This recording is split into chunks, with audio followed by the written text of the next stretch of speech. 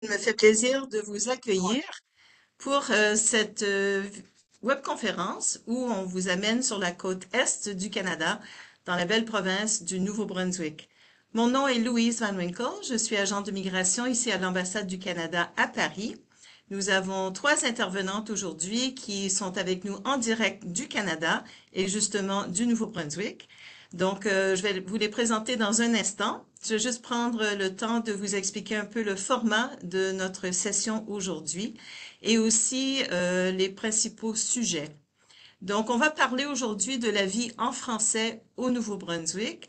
Euh, bien sûr, c'est pour euh, un public intéressé à immigrer au Canada, mais aujourd'hui, on met de côté pour un instant les sujets des programmes d'immigration, comment compléter les formulaires, quel programme choisir, et vraiment se projeter dans une nouvelle vie dans la province du Nouveau-Brunswick. Nos expertes vont nous parler de beaucoup de sujets, nous donner une idée de la géographie, les différentes régions, euh, les secteurs économiques, les opportunités d'emploi et surtout euh, les communautés francophones qui sont là pour vous accueillir et tous les services qui sont disponibles pour les nouveaux arrivants en français. D'autres activités qu'on organise vont se concentrer sur les programmes. Euh, donc aujourd'hui, prenez le temps de bien absorber toute l'information que vous allez recevoir et de préparer vos questions pertinentes pour nos trois intervenantes. Il y aura une présentation suivie par une période de questions. Donc, euh, les questions, euh, on vous demande de les mettre pas dans le chat ou clavardage, mais bien dans la section qui est identifiée Q et R ou Q&A. Donc, euh, questions et réponses. Sans plus tarder alors, je vais vous présenter nos trois intervenantes. Danielle Chisombu, elle est responsable des communications au RIF-NB, c'est le réseau en immigration francophone du Nouveau-Brunswick. Khadija Sall, elle est coordonnatrice en immigration économique pour le REDE Nouveau-Brunswick. Le REDE, c'est le réseau de développement économique et d'employabilité. Et notre troisième intervenante, Marie-Joëlle Bergeron, travaille aux relations internationales au ministère de l'Éducation et du Développement de la petite enfance, donc pour le gouvernement du Nouveau-Brunswick. Sans plus tarder, mesdames, je vous passe la parole et l'écran. Bonjour à tous, euh, je suis Danielle Chissambo, responsable de communication du RIFNB, Réseau en immigration francophone du Nouveau-Brunswick. C'est moi qui ai le plaisir de commencer cette présentation. Euh, Aujourd'hui, nous allons vous parler de la vie en français au Nouveau-Brunswick, qui est très possible et fort appréciable pour tous les francophones.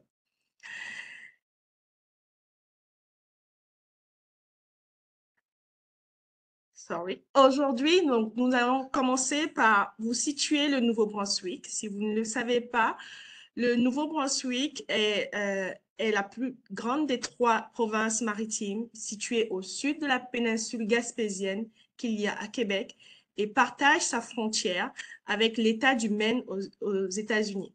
C'est la petite partie rouge que vous voyez avec sa capitale euh, Fredericton et qui est euh, qui est frontalière à la Nouvelle-Écosse. Le Nouveau-Brunswick compte aujourd'hui près de 800 000 habitants dans toute la province. Euh, nous avons Moncton, qui est la plus grande des villes, avec 81 000 habitants. Après, nous avons Saint-Jean, avec 71 000 habitants. Fredericton, 64 000 812 habitants, Dieppe 29 539 habitants, ainsi de suite, comme vous pouvez le voir.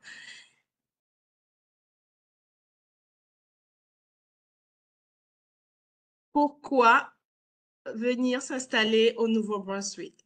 Tout simplement parce que dans la province, vous avez le droit de demander euh, d'être servi en français. Nous avons 30% de la population qui parle français et anglais et les autres parlent anglais. Mais vous pouvez demander dans tous les services publics d'être reçu en français, c'est-à-dire dans les hôpitaux, dans les mairies. D'ailleurs, quand vous arrivez, la première chose qu'on vous pose comme question, c'est français ou anglais pour pouvoir vous servir au mieux. Notre culture est riche. Découvrir un environnement riche acadien c'est vraiment s'inclure dans la communauté locale. Le mode de vie est vraiment relaxant. on allie facilement la vie professionnelle à la vie personnelle. Vous, vous, aurez l'occasion vraiment de, sortir du bureau et puis aller à la plage l'après-midi. Ça, c'est le must que moi, en tant qu'immigrante, j'ai eu à vivre aujourd'hui, cet été au Nouveau-Brunswick. Les opportunités d'emploi dans les métiers intéressants, vous en aurez, euh, Khadija va vous en parler tout à l'heure dans la partie R&D.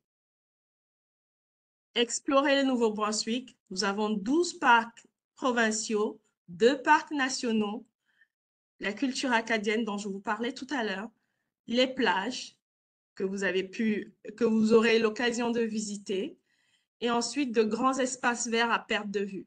Aujourd'hui encore, nous avons la possibilité de profiter des espaces verts, des forêts dans lesquelles nous pouvons nous promener pendant des kilomètres pour profiter juste de l'air pur, ce qui, n'existe plus aujourd'hui beaucoup dans d'autres grandes villes. Le climat, parlons du climat. Je sais que c'est souvent la partie euh, rebutante du Canada, mais je vous assure qu'il n'y a pas de mauvaise température, juste de mauvais vêtements. Euh, pour l'avoir testé cet hiver, à 42 degrés à l'extérieur, on peut transpirer. Il suffit juste d'être bien protégé. Donc, en été, nous sommes entre 15 et 25 degrés. Euh, on a eu 30 degrés la semaine dernière.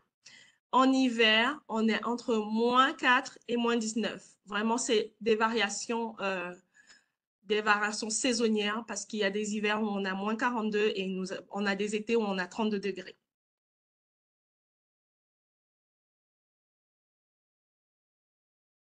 L'accueil et l'établissement. Vous aurez droit, quand vous arriverez, euh, d'être accueilli par des, par nos membres du RFNB qui s'occupent qui vous aideront dans votre recherche de logement, dans l'inscription de vos enfants dans les écoles, l'aide à la recherche du médecin de famille, euh, l'accompagnement auprès des services communautaires gouvernementaux, des aiguillages vers des services adaptés et l'organisation d'activités culturelles, interculturelles. Ici, aujourd'hui, euh, beaucoup de, de, nos membres, c'est-à-dire des centres d'accueil, font beaucoup d'activités pour que les les nouveaux arrivants, les immigrants se sentent vraiment intégrés et qu'ils puissent participer à la vie active dans, dans le Nouveau-Brunswick. La durée moyenne, comme je vous disais tout à l'heure, sortir du bureau et aller à la plage, tout simplement parce que c'est très près. Et la, et la durée moyenne entre la maison, le domicile et le travail est de 18 minutes. Moi, je fais 10 minutes pour arriver au travail en plus de ce que la COVID nous a apporté comme télétravail, vous pouvez encore en profiter. Donc, vraiment, euh, c'est une aubaine que de pouvoir travailler très près de chez soi. Valeur moyenne des logements. Le prix de vente résidentielle aujourd'hui s'élève à 304 000, euh, différemment de, de, il y a deux ans, il y a trois ans, où on était encore à 260 000. Les prix augmentent. Le taux de propriété reste toujours pareil. On est de 64, 74 pardon, supérieur à la moyenne nationale. La location d'appartement, le coût est de 723 pour un loyer, euh, pour un loyer par mois avec une chambre. Avec deux chambres, on a 895 dollars et avec trois chambres, on a 1029 dollars la santé. Pour la santé, nous avons plein de réseaux qui peuvent, euh, qui, sont ouverts pour vous recevoir, quels que soient vos, problèmes de santé. Euh, nous avons le réseau Vitalité, nous avons le réseau Horizon, le, réseau de santé Horizon. Vous avez le guide de la santé pour les nouveaux arrivants que vous trouverez aussi dans les centres d'accueil qui vous recevront.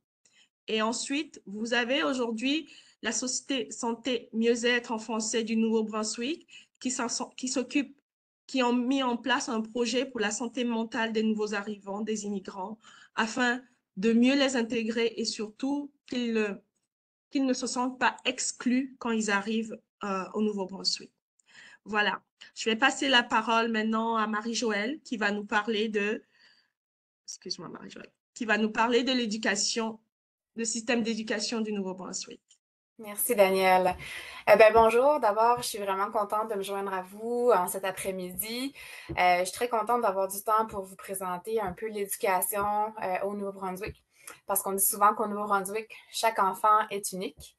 Donc, euh, les écoles publiques de la province sont vraiment réputées pour leur environnement d'apprentissage inclusif et bienveillant, ce qui va vraiment venir favoriser le développement global et le mieux-être de chaque enfant. Donc, on est vraiment dans un enseignement différent où euh, on se caractérise par une pédagogie innovante qui va vraiment venir placer l'élève au centre de ses apprentissages. Donc, l'enseignant, il est beaucoup plus là pour accompagner l'élève euh, dans ses apprentissages, dans ses connaissances, euh, pour que l'élève puisse vraiment là, être au centre et s'impliquer dans ses apprentissages. Donc, on a une vision éducative au Nouveau-Brunswick qui est à la fois humaine et citoyenne et on va vraiment viser le plein développement global de chaque enfant. L'école est un lieu euh, où on apprend à se connaître, à cultiver ses passions, à apprendre, c'est ça, donc à apprendre à se connaître et à vivre ensemble, euh, tout dans le respect de, la diversité. Donc, dans la seule province officiellement bilingue du pays, euh, le système d'éducation du Nouveau-Brunswick est vraiment différent des autres provinces dans le sens qu'il est structuré et géré sous le principe de la dualité linguistique qui va venir reconnaître deux secteurs d'éducation distincts. Donc, on n'a pas d'éducation bilingue, on a deux secteurs d'éducation, donc un secteur francophone et un secteur anglophone. Et ça, ça vise vraiment euh, à promouvoir et à sauvegarder chaque communauté linguistique officielle.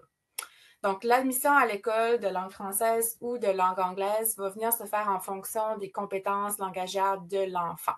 Donc, en fonction des compétences langagières de l'enfant, euh, le secteur d'éducation euh, soit anglophone ou francophone.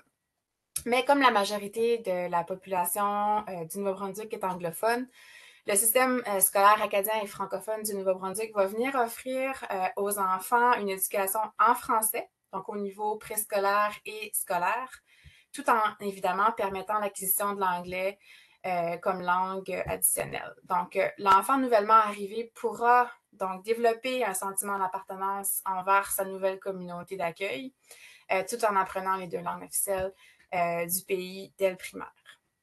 Le Nouveau-Brunswick est un leader en éducation sur la scène internationale, puis occupe une position de choix euh, en matière de leadership pédagogique au Canada, mais aussi sur la scène mondiale.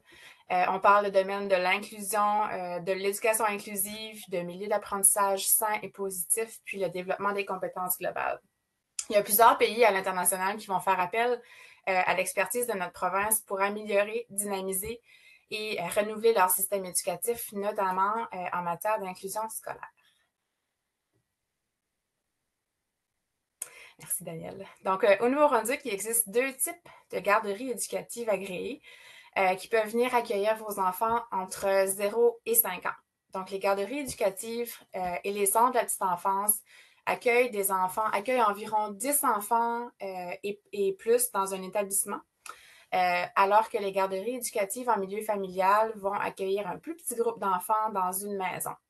Donc, les garderies éducatives agréées par le ministère de l'Éducation et du Développement de la petite enfance, ils vont respecter euh, les lois et les règlements sur le nombre d'enfants, sur l'espace de jeu, sur l'alimentation, la santé, la sécurité, le curriculum éducatif. Donc, il faut comprendre que c'est un programme qui est facultatif, qui est payant, mais qui est vraiment euh, un complément aux programmes scolaires qui sont dans les écoles primaires. ça fournit vraiment euh, une transition en douceur là, euh, vers la maternelle. C'est important, petit conseil, de commencer à chercher tôt une place en garderie éducative parce que plusieurs fournisseurs de services ont une liste d'attente. et puis, pour avoir question d'avoir plus de choix, d'opportunités, il ne faut pas attendre à la dernière minute avant de pouvoir inscrire vos enfants sur une, sur une liste d'attente. Donc, on vous recommande, une fois que votre projet d'immigration se, se, concrétise, soit vous avez euh, reçu votre permis de travail ou même une promesse promesse d'embauche, votre résidence permanente, euh, certificat de nomination. Une fois que votre projet se concrétise, on vous encourage de déjà euh, aller sur le portail des parents. On pourra vous partager l'adresse tout à l'heure dans le chat et, et aller déjà inscrire votre enfant selon la région dans laquelle vous pensez vous installer pour avoir une place en garderie. Il y a de nombreux outils et services gratuits qui ont été développés dans les dernières années pour venir appuyer les parents et vraiment venir favoriser le développement des enfants. On parle d'intervention précoce, on parle de développement du langage, de programmes préscolaires en autisme, entre autres. Donc, le curriculum éducatif de la petite enfance est vraiment axé sur la découverte, l'apprentissage et euh, créer euh, pour pouvoir permettre le plein développement des enfants. On parle beaucoup de ça, le plein développement, l'atteinte du plein potentiel des enfants. Donc, il va préparer votre enfant pour la vie et permettre une transition, comme je le disais tout à l'heure, euh, en douceur vers la maternelle. Donc, l'apprentissage par le jeu est central. Cette pédagogie-là par le jeu est vraiment centrale dans le curriculum et va permettre à l'enfant de découvrir, apprendre et créer. Donc, tout ce qui est planification des activités, c'est vraiment adapté aux besoins et intérêts des enfants. On va faire appel à leurs forces, à leurs intérêts, à leurs habiletés. Les enfants sont, on participe euh, directement au choix des activités et du matériel de jeu. Un autre petit conseil ou un autre élément important à savoir, c'est que selon les lois canadiennes, seuls les enfants âgés de 12 ans peuvent rester euh, seuls à la maison après l'école. Donc, euh, après la journée scolaire, il y a aussi des services de garde dont vous pouvez utiliser leurs services. C'est payant, mais ça permet à vos enfants de pouvoir euh, avoir une supervision par, euh, par, par le centre ou encore ça peut être par quelqu'un qui est un adulte ou un adolescent de, de 12 ans et plus. Donc, c'est important à tenir en compte que vos enfants doivent avoir 12 ans et plus pour être seuls à la maison. Et donc, ces services de garde sont disponibles après les heures de classe selon les organismes qui sont autorisés. On m'a pas donné beaucoup, beaucoup de temps. Je pourrais vous entretenir très longtemps. Donc, je vais peut-être un petit peu trop rapidement, mais je vais essayer de modérer un petit peu. Donc, euh, maintenant, je vais vous présenter davantage tout ce qui est euh, école primaire et secondaire. Donc, le système d'éducation du Nouveau-Brunswick fonctionne sur le même modèle que le reste du Canada, c'est-à-dire que l'éducation est gratuite. les élèves vont débuter par la maternelle, jusqu'à euh, la douzième année. Donc, euh, l'école est gratuite. On pourrait dire par contre, à l'exception des résidents temporaires qui ont un statut de visiteur, ils pourraient se voir imposer des frais de scolarité. Euh, donc, les niveaux scolaires sont divisés en deux grandes catégories. Donc, on a le primaire et le secondaire. Donc, le primaire, il va commencer de la maternelle jusqu'à la huitième année, ce qui fait de 5 ans à 13 ans environ. Et généralement, les enfants vont changer d'école pour faire leur secondaire, qui est de la 9e à la 12e année. Donc, on comprend environ de 14 à, 18 ans. Donc, euh, règle générale, c'est un peu différent de, je pense, de certains pays, mais les enfants du primaire sont à l'école de 8 h le matin jusqu'à 14h30. Ça varie, là, effectivement, selon, selon les écoles. Euh, alors que les élèves du euh, secondaire peuvent être en classe jusqu'à 16 h environ. Il existe aussi toute une panoplie d'activités parascolaires, périscolaires, euh, comme des équipes sportives, la musique, l'improvisation, etc., où là, on pourrait potentiellement demander une contribution euh, des parents. Maintenant, une des questions qui sont souvent posées, c'est à l'égard de l'inscription à l'école. Donc, ce que vous devez savoir, c'est que dans un premier temps, vous devez déjà être au Nouveau-Brunswick pour inscrire votre enfant à l'école, car vous devez savoir dans quelle ville vous serez installé, dans quel quartier, euh, parce que vos enfants vont aller à l'école dans le quartier, euh, dans votre quartier. Euh, et pour l'inscription à l'école, vous allez avoir besoin d'une preuve d'adresse. Donc, ça peut être soit un permis de conduire ou encore une facture d'électricité. Euh, mais une fois sur place, il y a des agents d'accueil et euh, d'admission dans chaque district scolaire francophone qui va euh, faciliter les questions d'admission, vous accompagner un petit peu dans ces démarches-là. mais peut-être un petit conseil à porter avec vous. Donc, tout document pertinent, on pourrait parler de, ben, vous allez avoir besoin d'une copie du document officiel de votre enfant pour son statut, le carnet de santé, ça va être important. Euh, de copies de passeport, de passeport, pardon, de, euh, des bulletins. Euh, ça, ça va être important aussi. Si vous pouvez les avoir aussi en français, ça va vraiment permettre à l'école de mieux comprendre le parcours scolaire de, votre enfant. puis donc, on va avoir besoin aussi de connaître le niveau scolaire et la date d'entrée prévue à l'école. C'est possible que votre enfant ait besoin d'un permis d'études, mais pour ce faire, si vous avez des questions, en fait, puis pour avoir un permis d'études, vous allez avoir besoin d'une preuve d'admission à l'école où sera inscrit votre enfant. Euh, si vous avez une idée de la région dans laquelle vous allez vous installer, euh, vous pouvez demander à l'école, à une école euh, dans laquelle vous voulez inscrire vos enfants, une preuve d'admission. Euh, mais pour savoir si vous êtes assujetti euh, à ces genres de permis, euh, je vous invite à aller consulter le site d'Internet de IRCC, évidemment. Donc, pour le placement scolaire, c'est une, question qui revient souvent. Où seront placés mes enfants lorsqu'ils vont arriver? la façon dont ça fonctionne, c'est vraiment en fonction de l'âge de vos enfants. Si vos enfants, votre enfant a 12 ans, il sera placé dans une classe avec des enfants de 12 ans. Donc, c'est vraiment l'âge qui va venir euh, indiquer le, niveau scolaire finalement de, vos enfants.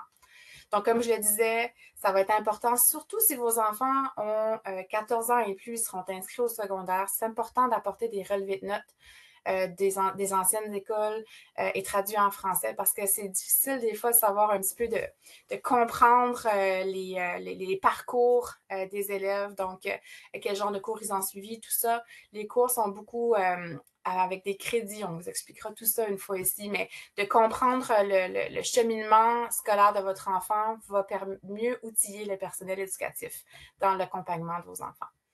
Et euh, euh, je terminerai cette diapo en disant que euh, l'école ben, débute en septembre vos enfants seront acceptés tout au long de l'année, certainement. Euh, par contre, si votre projet de vie euh, vous le permet, euh, on vous encourage d'arriver à temps pour la rentrée. Ça va permettre une, acclimatisation plus facile pour vos enfants. Ils vont arriver en même temps que tout le monde, l'effervescence de la rentrée. ça va favoriser aussi le choix de cours si vos enfants sont au niveau du secondaire.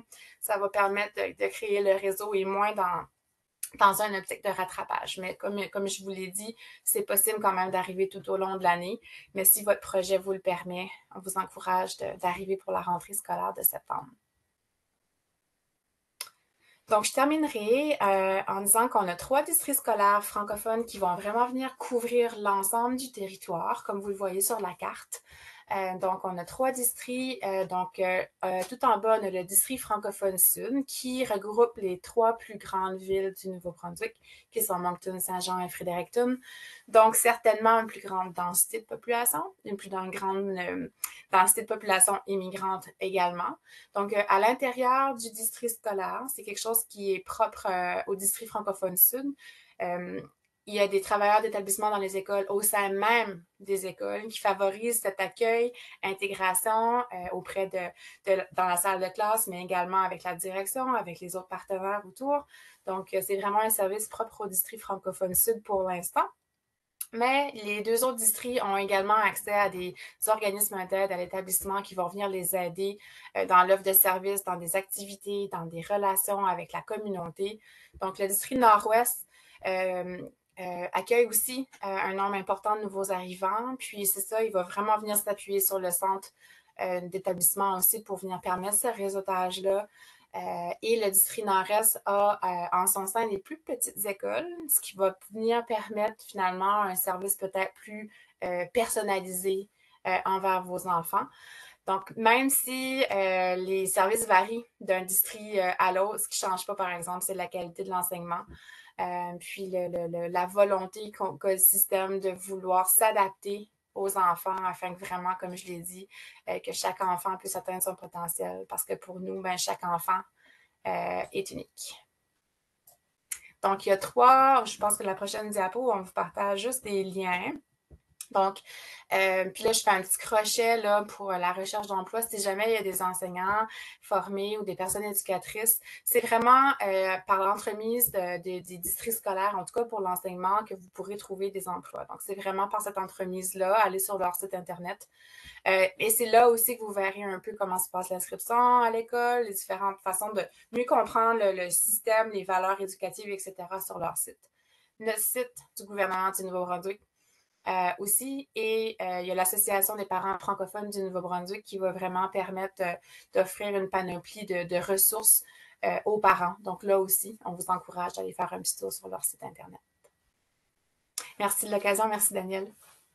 Je t'en prie, Marie-Joëlle. La prochaine participants. Ah, tu avais la diapo post-secondaire.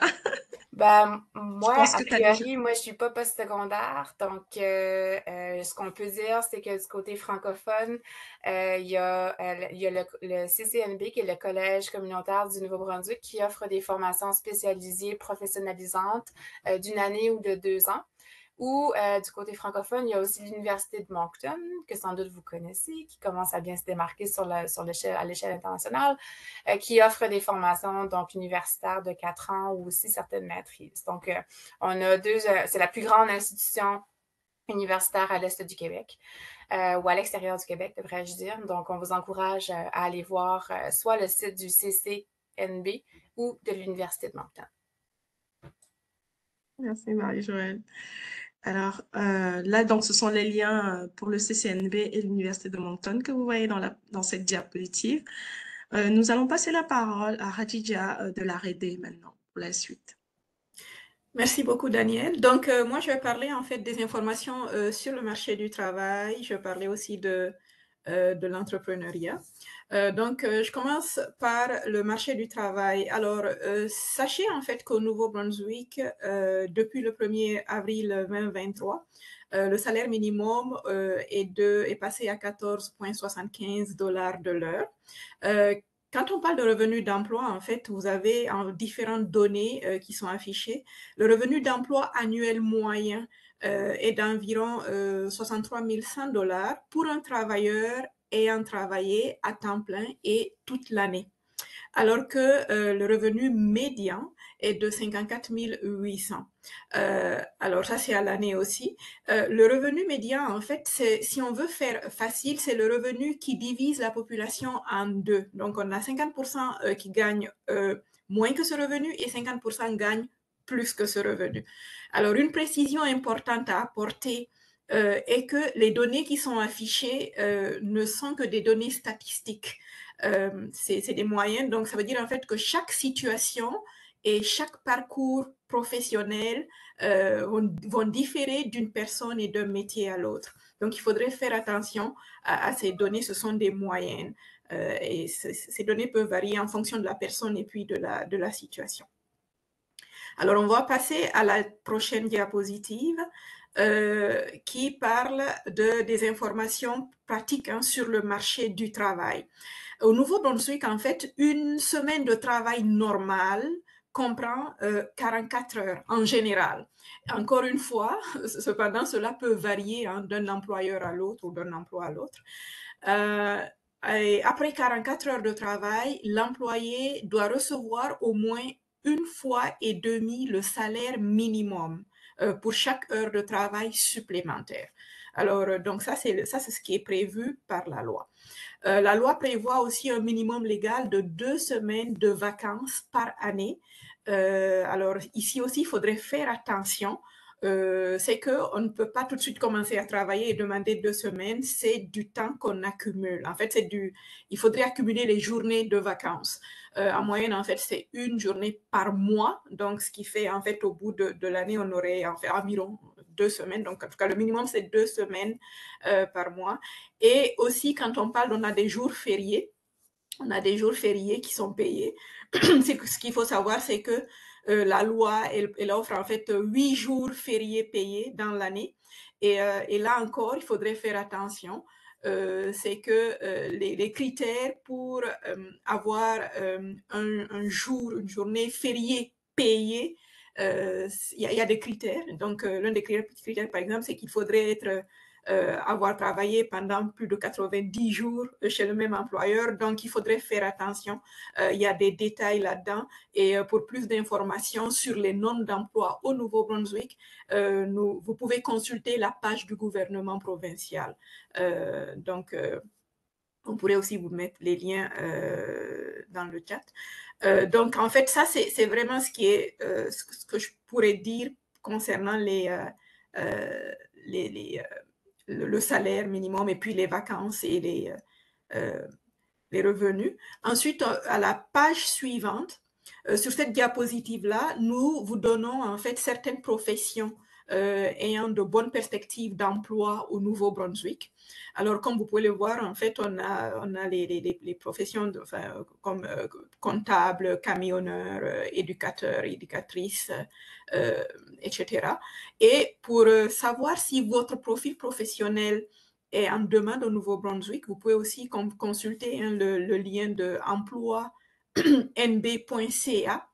donc, c'est un lien qui s'affiche à l'écran. Et on pourrait aussi, vous le partagerez, je pense, aussi dans le, dans le chat. Et il est important de noter aussi que, sur, euh, que la liste qui est sur cette diapositive n'est pas exhaustive, évidemment. Hein. donc, on a plus euh, d'autres euh, professions qui sont en demande dans la province. Alors, on va passer à la prochaine diapositive, toujours hein, dans les euh, les réalités du marché du travail. Sur cette diapositive, en fait, vous avez euh, ici les perspectives d'emploi au Nouveau-Brunswick, hein, au niveau des perspectives d'emploi au Nouveau-Brunswick, les domaines euh, en lien avec le plus grand nombre d'avis d'offres en ligne en date de juillet 2023. donc, c'est ce que vous avez projeté, qui, est projeté sur cette diapositive. Donc, ce sont les ventes et les services. vous avez le, domaine des affaires et des finances, euh, les métiers, le transport, la machinerie, puis euh, les domaines apparentés. Donc, c'est ce qu'on a relevé en fait dans les statistiques euh, pour les, publications en ligne. Toutes ces informations sont évidemment sur le site que je viens d'évoquer, qui est emploinb.ca. On va passer à la diapo suivante. Alors, concernant la diapo suivante, ici, en fait, vous avez le tableau, vous avez en fait deux graphiques qui sont, un, graphique et un tableau qui sont affichés à l'écran. Alors, euh, le, vous avez en fait un graphique qui présente les avis d'emploi euh, par grande région économique euh, de la province. et puis aussi un aperçu à droite euh, le tableau. Donc, c'est des employeurs qui publient le plus grand nombre d'avis d'emploi en ligne au Nouveau-Brunswick. Euh, alors, ce qu'il faut savoir ici, une précision importante, euh, il est important vraiment de le noter, c'est que selon des professionnels du domaine, seulement 20 à 30% des offres d'emploi sont affichées sur les sites de recherche d'emploi. Alors, ce qui signifie en fait que le reste là, donc les 70 à 80% des offres d'emploi restants sont généralement comblées par le bouche à oreille. Euh, c'est beaucoup le réseautage hein, qui, qui, euh, qui, fonctionne. Donc, euh, il vous sera donc important, une fois arrivé sur le territoire, euh, de développer, d'entretenir et puis de nourrir euh, votre réseau euh, afin de maximiser vos chances d'intégrer le marché du travail. Donc, c'est très, très important. Alors, donc, ce qu'il faut savoir, c'est que toutes les offres qui sont affichées sont vraiment des offres qui sont, qui, ne représentent que 20 à 30% de, de ce qui existe réellement. Euh, sur la diapositive suivante, euh, ici, en fait, on parle des professions réglementées et des métiers désignés. Avant toute chose, avant d'entamer votre recherche d'emploi, euh, si vous le souhaitez vous installer au Nouveau-Brunswick, nous vous recommandons, nous vous conseillons très fortement de réviser la liste complète des métiers se retrouvant sur les liens affichés à votre écran, car certains métiers de la province sont réglementés ou désigné. Donc, ça veut dire en fait que vous ne pourrez pas, euh, je prends un exemple euh, en comptabilité, euh, si vous êtes comptable, vous avez travaillé en tant que comptable chez vous, donc vous ne pouvez pas, par exemple, venir ici commencer à exercer directement comme comptable, parce que c'est une profession qui est réglementée. donc, il y a des, des, démarches à faire en amont avant de pouvoir exercer euh, comme comptable euh, sur le, euh, au Nouveau-Brunswick. Donc, par conséquent, donc, il, se peut que pour, pour d'autres professions, il se peut que vous ayez à franchir certaines étapes avant de pouvoir vraiment travailler dans votre domaine une fois arrivé au Nouveau-Brunswick. Ensuite, on va passer à la diapo suivante. donc, concernant l'entrepreneuriat, euh, pour ceux qui seraient intéressés à, démarrer une entreprise, euh, sachez qu'il existe aussi pour vous euh, des organismes qui offrent des services d'incubateur pour le lancement de nouvelles idées. Par exemple, on a des services qui sont proposés par les ruches, qui sont des services gratuits. aussi, par exemple, quand on est dans le sud-est de la province, on a la section développement économique de la Commission des services régionaux du sud-est qui va offrir des outils, des ressources nécessaires pour vous aider à concrétiser vos idées, d'entrepreneuriat. Et aussi, je terminais par ceci, le REDE, le REDE Nouveau-Brunswick peut vous, vous appuyer et euh, vous aiguiller euh, vers les bonnes personnes aux besoins. Euh, le REDE a mis en place une plateforme qui s'appelle Carrefour Relève PME, qui est une plateforme de ressources virtuelles qui fait le pont entre les entrepreneurs qui veulent mettre en vente leurs entreprises et les entrepreneurs qui souhaitent acquérir euh, des entreprises, qui souhaitent acheter des entreprises. Et donc, en fait, euh, on a cette plateforme qui, a été mise en place à cet effet. Et euh, on a aussi, le REDE a aussi mis en place un programme d'accompagnement qui s'appelle Solutions Repreneuriat et qui vise à améliorer les compétences entrepreneuriales des femmes. Et dans, ce cadre, dans le cadre de ce programme-là, on fournit des outils euh, des outils qui sont adaptés aux besoins des femmes qui souhaitent euh, reprendre des entreprises euh, afin qu'elles soient en position d'acquérir une entreprise avec succès et même la gérer par la suite. Donc voilà, en fait, moi, c'est ce que j'avais à dire concernant le, le, le, secteur, en fait, la, la, section marché de l'emploi, marché du travail et puis entrepreneuriat. Donc, merci beaucoup, Daniel. Merci Radija. Alors, je reviens avec vous. Euh, on va parler des services d'intégration. Aujourd'hui, les services d'intégration sociale, culturelle, économique euh, font partie en fait de, de, de des offres que, que, nos, nos, nos, membres vous réservent quand vous arrivez. Donc, vous avez un service d'accueil et d'établissement, vous avez des services d'accueil et d'établissement culture et jeunesse, employabilité, comme on a vu avec le RED, éducation à la petite enfance, comme on a vu avec Marie-Joëlle, droit, gouvernance et santé, comme on a vu avec tous les réseaux de santé, Vitalité et, Horizon. Ensuite, euh,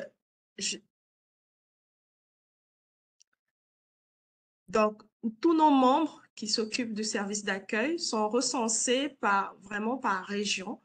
Nous avons euh, euh, la région de Restigouche, qui est, qui est euh, à Campbellton. Nous avons euh, Amina, qui est dans le Saint-Quentin. Nous avons euh, le centre de ressources des nouveaux arrivants du Nord-Ouest, qui est à Edmundston. Nous avons le CAFI, qui est représenté à Dieppe. Nous avons la CAENA, qui est représentée dans le Chipagan. Donc ça, tous ces centres-là sont des centres de, de, notre réseau. Ils sont membres de, de l'association du réseau d'immigration francophone de Nouveau-Brunswick. Donc, si vous allez sur nos pages, sur notre site rifnb.ca, vous allez tous les trouver et trouver un moyen de, les contacter. Merci beaucoup, Marie-Joëlle, qui vient de vous mettre en ligne la carte interactive du, du RIFNB. Donc, la communauté francophone accueillante, euh, c'est un projet qui a été créé il y a trois ans pour mettre en place une communauté accueillante par par région. Donc, la communauté accueillante du Haut-de-Saint-Jean regroupe la ville d'Edmundston, la ville de Haut-Madawaska et la première nation malécite du Madawaska, dans la région du nord-ouest du Nouveau-Brunswick. Donc, vous pouvez aller aussi sur leur site et voir ce qu'ils font comme activité pour vous accueillir dans le Nouveau-Brunswick. Donc, nous avons terminé notre présentation. Vraiment, nous sommes heureux de vous avoir eu parmi nous. N'hésitez pas si vous avez des questions. Je pense que euh, Louise a récupéré toutes les questions qu'elle va nous poser au fur et à mesure. Merci d'avoir été parmi nous. Euh, merci à Marie-Joëlle et merci à Radida d'avoir été là. Merci beaucoup à toutes les trois. Euh, on voit vraiment que l'immigration euh, c'est quelque chose qui est important pour le Canada et que on tient compte de tous les aspects. C'est un projet de vie, c'est un projet professionnel, c'est un projet de famille. Ça peut être un projet entrepreneurial aussi, on l'a bien vu. Et euh, je pense que vous avez vu les, les petits cœurs monter, les, les pouces. Donc, euh, votre présentation a été bien appréciée par notre public. Euh, on va passer dans un instant la période de questions. Je vous rappelle à tous, euh, et vous êtes nombreux en ligne, donc ça montre l'intérêt pour euh, le Nouveau-Brunswick. vous pouvez poser vos questions qui sont sur les sujets d'aujourd'hui, c'est-à-dire la vie en français dans tous ses aspects dans la province du Nouveau-Brunswick. ne les mettez pas dans le chat, s'il vous plaît, mais bien dans la partie Q et R. Euh, pour qu'on puisse euh, les repérer et euh, choisir les questions les plus pertinentes pour l'ensemble de, des internautes aujourd'hui. J'en profite pour faire une petite page publicitaire aussi. lundi prochain, vous savez peut-être, le 18 septembre, on ouvrira les inscriptions pour la 19e édition de Destination Canada Forum Mobilité.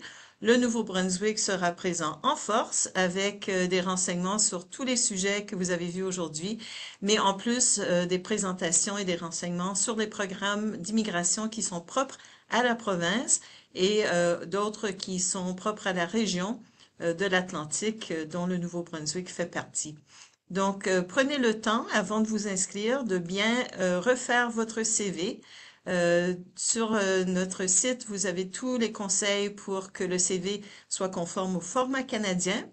Euh, vous l'avez compris, le Nouveau-Brunswick, comme l'ensemble du Canada, est bilingue, donc certains des employeurs peuvent être plutôt anglophones. On vous encourage donc à faire votre CV dans les deux langues officielles du Canada. On passe maintenant aux questions. On va commencer avec une question euh, professionnelle je crois que ce sera plutôt pour euh, Marie-Joëlle. On a vu que parmi les professions en demande, il y a l'enseignement. Donc, euh, Sarah voudrait savoir comment devenir enseignant au Nouveau-Brunswick. Oui, merci Sarah ta question, pour votre question. Euh, ben, en fait, comme euh, Radija l'a mentionné tout à l'heure, il y a des professions qui sont réglementées. Donc, celle-ci euh, en est une. Donc, pour être reconnu comme enseignant, il faut obtenir un certificat provisoire d'enseignement. Et pour ce faire, dans les premières étapes, vous allez devoir faire votre l'évaluation de vos diplômes, soit via WES ou ICAS. N'oubliez pas de le faire cours par cours. Euh, parce que le bureau du registraire va vouloir voir si en fait vous avez le nombre suffisant de crédits, soit en pédagogie, euh, en matière enseignée, euh, didactique et tout ça, pour voir si vous avez potentiellement, vous pouvez être reconnu comme enseignant et obtenir un certificat provisoire d'enseignement. En réponse au chat, je pense que j'ai mis ou pas l'adresse, je vais la renvoyer, je ne sais pas si ça a passé, mais l'adresse pour aller sur le site du registraire où vraiment vous trouverez toutes les modalités euh, pour euh, comprendre comment, euh, si c'est possible aussi d'être reconnu comme personne enseignante, le nombre de crédits, les principales étapes. Mais je vous dirais qu'en premier lieu, ça prend un minimum de quatre ans d'études universitaires, soit en éducation ou en matière enseignée. Euh, et ça va vous prendre une année complète en pédagogie. Mais pour obtenir plus d'infos, je vous invite à aller voir le site du GNB et principalement de faire l'évaluation de vos diplômes cours par cours. Ça rejoint donc une question de Samba euh, qui a une formation d'une année en didactique euh, après les études secondaires. Donc, d'après ce qu'on vient d'entendre, suffisant pour d'emblée être enseignant au Nouveau-Brunswick. Euh, peut-être regarder du côté de l'éducation de petite enfance euh, et voir quels sont les cours, euh, soit au CCNB ou à l'Université de Moncton, qui pourraient donner l'accréditation. Est-ce que ça serait l'approche, Marie-Joëlle? Oui, tout à fait. Donc, pour devenir, je vais peut-être faire du pouce là-dessus, Louise, merci. pour devenir une personne éducatrice, donc, normalement, il faudrait euh, soit avoir un bac en éducation, donc un bachelor en éducation, ou un deux ans de formation en petite enfance. Par contre, c'est possible si vous arrivez ici, euh, euh, soit comme résident permanent ou encore vous voulez faire vos études en petite enfance pour une, pour une reconversion ou pour venir aller chercher les crédits manquants, certainement le Collège communautaire du Nouveau-Brunswick pourrait vous offrir cette formation-là. Ou si vous êtes déjà sur place au Nouveau-Brunswick, euh, et que euh, euh, vous pouvez occuper un poste, être embauché quand même, mais vous n'aurez pas la reconnaissance de personne éducatrice et donc vous devrez aller suivre une formation complémentaire au CCNB qui pourra se faire pendant que vous êtes à l'embauche de votre employeur. Merci pour ces précisions. Safouane dit que la désignation a été reçue récemment, donc désignation comme candidat de la province du Nouveau-Brunswick. Est-ce que ça m'aidera à décrocher une offre d'emploi avant l'arrivée sur le territoire canadien? Question peut-être pour Radisha. Alors, donc, en fait, ce qu'il faudrait savoir, c'est que euh, euh, le plus souvent, les, employeurs sont beaucoup plus, mettons, ouverts euh, lorsque la personne elle est déjà sur le territoire. Donc, on, a, on a en fait des personnes qui sont à l'extérieur du Canada qui vont, je veux dire, soumettre leur candidature à des employeurs. mais je, je, dirais en fait que le plus souvent, c'est qu'une fois sur le territoire, on, a, on, a, on, augmente nos chances en fait de d'être de, euh,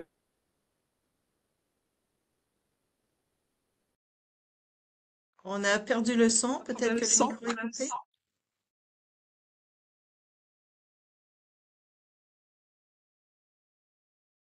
Khadija, tu Si peux si dire vous voulez euh, continuer, je pense que votre micro était coupé momentanément. Allô? Oui. C'est bon maintenant. Oh, je pense que j'avais euh, j'avais j'avais été coupé à un moment donné. Donc, je voulais juste savoir, est-ce le monsieur, dans, dans quel domaine est-ce qu'il est, euh, encore? Ça, on n'a pas l'information. La question est plutôt, est-ce que le fait de, de pouvoir au moins dire à un, un employeur que euh, la désignation est obtenue, euh, j'imagine que ça peut quand même être un, un, quelque chose de positif dans la démarche par rapport à quelqu'un qui n'a pas encore commencé son processus d'immigration? C'est ça, la question elle est un peu, est-ce qu'il est déjà en relation avec un employeur ou est-ce que... C'est ça la question. On n'a pas tous ces renseignements-là. Oui, la question est un peu vague en fait. Donc, mais ce que je voilà. pourrais dire, c'est ça, c'est qu'en général, c'est que quand on est sur le territoire, on a plus de chances en fait d'avoir euh, un, euh, je veux dire, un, un, un, emploi que quand on est à l'extérieur, puis qu'on mm -hmm. euh, postule depuis l'extérieur en fait.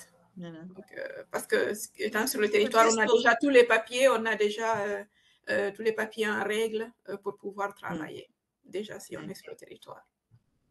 Peut-être souligner qu'une fois qu'on a la désignation, si un employeur veut nous embaucher, on peut, on peut obtenir un permis de travail temporaire sans avoir, euh, sans que l'employeur ait à obtenir ce qu'on appelle une étude d'impact sur le marché du travail. Donc, si l'employeur a besoin de quelqu'un rapidement, le fait d'avoir la désignation permet d'avoir cette voie plus rapide vers la, le permis temporaire en attendant la résidence permanente. Et peut-être euh, revenir à quelque chose que Daniel avait euh, souligné en parlant des services d'établissement, les services pour les nouveaux arrivants. Il y a les services pré-départ euh, qui peuvent aider avec une mise en contact avec les employeurs. Peut-être revenir un peu là-dessus et, l'aspect préparation à l'emploi de ces services-là? Alors, euh, oui, Merci Louise. Comme tu disais tout à l'heure, oui, il y a des services pré-départ. Alors les services pré-départ, ils vous mettent en, en lien. Euh, on, est toujours, on reste toujours sur le site emploi NB, mais en fait, ils vous mettent en lien avec des, des employeurs qui euh, sont ouverts à, à, à, embaucher à l'international. C'est-à-dire, c'est des, employeurs qui vont vous embaucher et vous permettre d'avoir un, un, visa temporaire pour venir travailler. Alors, le, moi, mon souci avec euh, la démarche de, venir après avoir une désignation, c'est que souvent, la, entre la, dé, la, désignation et la résidence permanente, il y a beaucoup de, formalités encore à faire, comme les visites médicales et beaucoup de papiers encore à fournir, qu'on pourrait fournir quand on est encore sur place chez soi.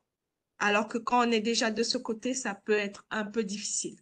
Mais en tout cas, il y a des services pré-départ qui vous, conseilleront pour, euh, euh, pour avoir des emplois déjà avec des employeurs qui embauchent à l'international. Prenez juste le temps d'être sûr que si on vous demande un document, vous n'aurez pas besoin de retourner chez vous pour, l'avoir. C'est ça le problème. Très bonne recommandation. Euh, et un peu dans le même sens, euh, sur le site Guichet Emploi, qui est le portail de l'emploi du gouvernement du Canada, il y a aussi une partie où les employeurs peuvent signaler s'ils sont ouverts à embaucher euh, des personnes encore à l'international. Et puis, bien sûr, les employeurs qui vont participer ou afficher leur poste à Destination Canada Forum Mobilité sont dans cette démarche-là, euh, savent qu'ils ont besoin euh, de regarder au-delà des frontières du Canada parce qu'il y a vraiment une pénurie dans beaucoup de, professions, euh, comme vous l'avez déjà souligné toutes les trois. Euh, Naïmi demande s'il est difficile de trouver un logement euh, au Nouveau-Brunswick comme ailleurs au Canada. C'est vrai que dans les nouvelles, euh, on, on entend beaucoup euh, la difficulté de trouver un logement. Qu'en est-il pour le Nouveau-Brunswick? Euh, je vais répondre à la question. Euh, le Nouveau-Brunswick ne, ne, ne- comment dire, le, le le Nouveau-Brunswick ne, ne, ne, re- ne réduit pas à cette, comment dire, à cette règle.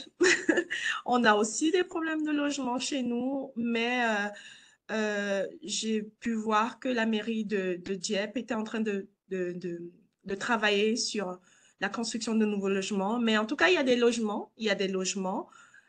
Juste que au fur et à mesure que les immigrants arrivent, c'est pas juste des immigrants à l'international. Nous avons aussi des gens qui viennent de Toronto. On a, on a, on a beaucoup de personnes qui viennent de l'intérieur du Canada. Donc, euh, oui, il y a des problèmes de logement, mais on en trouve toujours. Euh, il suffit de savoir ce que, ce que vous voulez et savoir aussi quels, quels sont vos prix. Donc, prévoir le bon budget. Voilà, dans le, dans le bon budget, c'est ça. Bien. Euh, une question concernant la, vie euh, au Nouveau-Brunswick, en particulier, quelles sont les opportunités sportives dans la province? Alors, les opportunités sportives, en hiver, on va faire des sports d'hiver, c'est-à-dire euh, on va faire du patin euh, sur la ville de Dieppe, par exemple. Vous avez euh, sur, euh, euh, sur le, la place 1604, euh, vous aurez une grande piste de ski. Non, pas de ski, de patin pour les enfants. C'est tout l'hiver, c'est ouvert tout l'hiver. Et euh, vous avez des sports euh, pour les enfants. La piscine, elle est toujours ouverte pour, pour l'hiver. Vous avez aussi euh, le, le, les, les sports comme le karaté. Vous avez le judo qui se font à l'intérieur. Vous avez le, le hockey. Vous avez le hockey qui est ouvert. Et en été, on a le soccer qui, qui s'ouvre en été pour toute la saison estivale. Et puis, et puis voilà. Donc, euh, Moi, je rajouterais que c'est important de peut-être regarder par région. Euh, certainement, il y a des régions qui vont euh, euh, plus précis dans certains sports. Euh, donc, en fonction de vos intérêts, l'intérêt de vos enfants, vos grandes passions, de peut-être faire une recherche plus générale sur la province pour voir dans quelle région, parce que vous allez trouver une panoplie de sports euh, pratiqués et de, et de, et d'équipes sportives dans toutes les régions de, de la province, certainement. Et à l'intérieur des écoles aussi, selon les écoles, selon les régions, il y a aussi des équipes sportives à l'intérieur des écoles. Euh, donc, euh, je vous recommanderais, selon vos passions, les passions de vos enfants, de regarder, faire une recherche, euh, de regarder dans quelle région vous pourriez retrouver euh, ce qui vous intéresse le plus. je vais juste Si à rajouter Paris que en ce moment, je vais juste si à rajouter Paris en ce moment, tout le monde a l'œil sur le rugby. Oui, oui, en effet. J'aimerais juste rajouter que pour les nouveaux arrivants, euh, voyez, avec les centres d'accueil, ils offrent souvent une année gratuite sur les sports quand vous arrivez. Voilà, Excellent. pour vos enfants. Et c'est une bonne- très bonne façon de rencontrer les gens, que ce soit les activités sportives, Exactement. culturelles ou autres. Euh, le bénévolat également, euh, façon d'être un peu moins isolé quand on arrive dans un nouvel endroit. Et euh, à travers ces, euh, ces intérêts communs, euh, nouer des, des nouvelles amitiés et euh, éventuellement des contacts euh, pour euh, un avenir professionnel également. Euh, réseau, comme Hasina revient. Tout. Pardon? Je disais étoffer son réseau, comme elle le disait Hadija tout à l'heure. C'est ça. Exactement. Euh, Hassina rebondit sur quelque chose que tu as dit, Marie-Joëlle, concernant euh, l'âge euh, légal pour rester seule à la maison. Donc, elle a une fille de 16 ans et un garçon de 11 ans. Est-ce qu'ils peuvent rester seuls à la maison tous les deux, euh, puisque la fille a déjà 16 ans? Donc, peut-être euh, je vous rassure que c'est possible. En fait, c'est si vous aviez juste votre garçon et pas de pas euh, votre fille, là, ça serait, euh, ça serait, il faudrait avoir une supervision, mais votre fille peut faire effectivement cette supervision-là étant âgée de 12 ans et plus. Donc oui, ça se fait de rester à la maison dans ce cas-ci. Très bien. Euh, une autre question concernant la vie de tous les jours. Euh, euh, demande si le panier de l'épicerie est euh, moins cher qu'ailleurs au Canada.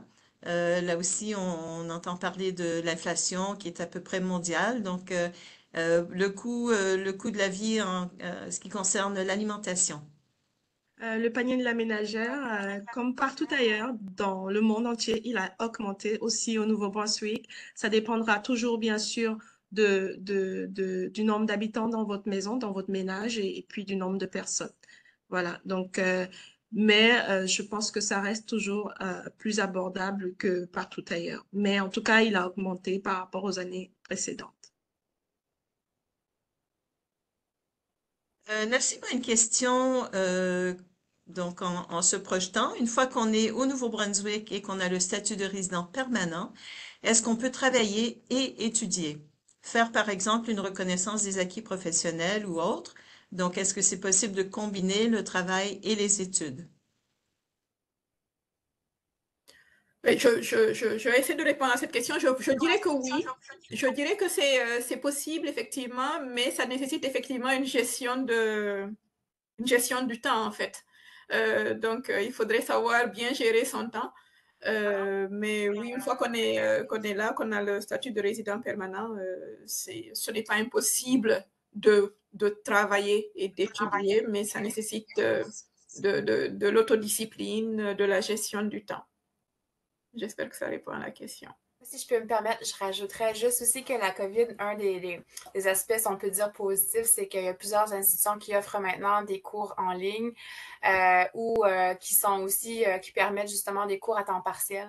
Donc peut-être de regarder ce côté-là aussi. Je pense qu'on a une plus grande offre qu'on l'avait auparavant pour permettre justement d'aller peut-être bonifier en prenant certains cours le soir, par exemple. Avec cette flexibilité, d'horaire et, et de, de lieu euh, à partir duquel on peut étudier. Euh, Mhm. Très bon point. On arrive à la fin de notre période de questions. Euh, j'en profite pour rappeler que nous avons plusieurs activités euh, tout au long de l'année, activités en ligne, activités en personne, offertes non seulement par notre bureau à Paris, mais aussi nos collègues dans différents bureaux d'immigration, réfugiés, citoyenneté Canada à travers le monde. Donc, j'encourage euh, tous nos internautes aujourd'hui, si ce n'est pas déjà fait, de vous inscrire à notre infolettre mensuelle. Il y a un calendrier, il y a aussi des articles fournis par les différents réseaux en immigration francophone euh, et des articles aussi sur différents secteurs d'activité, que ce soit l'éducation, euh, hôtellerie, restauration et, j'en passe. Donc, euh, vous aurez tous les renseignements dans votre boîte aux lettres électronique euh, tous les mois. Euh, je rappelle que euh, c'est le moment de mettre à jour votre CV en format canadien et bilingue. Euh, les inscriptions pour Destination Canada Forum Mobilité ouvriront euh, lundi, le 18 septembre. C'est pas du tout sur la base de premier arrivé, premier servi. Donc, prenez le temps euh, de bien refaire votre CV, de bien identifier aussi votre code de la classification nationale des professions, votre CNP. Euh, ce sont des éléments qu'on va vous demander euh, avec aussi des renseignements sur vos études, vos compétences en français, en anglais. Donc, prenez le temps de soumettre une bonne candidature. Euh, malheureusement, on ne peut pas accueillir toutes les personnes qui demandent de participer, faute de place, même de place virtuelle pour les journées en ligne. Donc, prenez le temps. Les invitations seront envoyées début novembre. Donc, le Nouveau-Brunswick y sera présent, comme je mentionnais. Ils ont plusieurs missions dans différents pays aussi à différents moments.